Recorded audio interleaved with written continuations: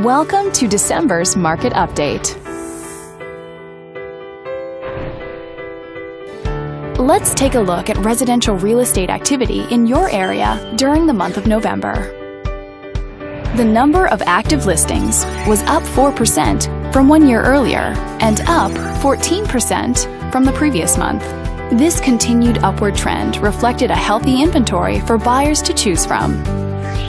As you can see, the median listing price for the month was just over $480,000. Compared to last year, the average number of days that units spent on the market before being sold was up 33%. This higher number of days may signal a slowdown in the local inventory turnover rate. The median sale price was just under $550,000. The number of units sold increased 150% year over year and increased more than 200% month over month. These figures may indicate that buyers have been taking advantage of opportunities in this market.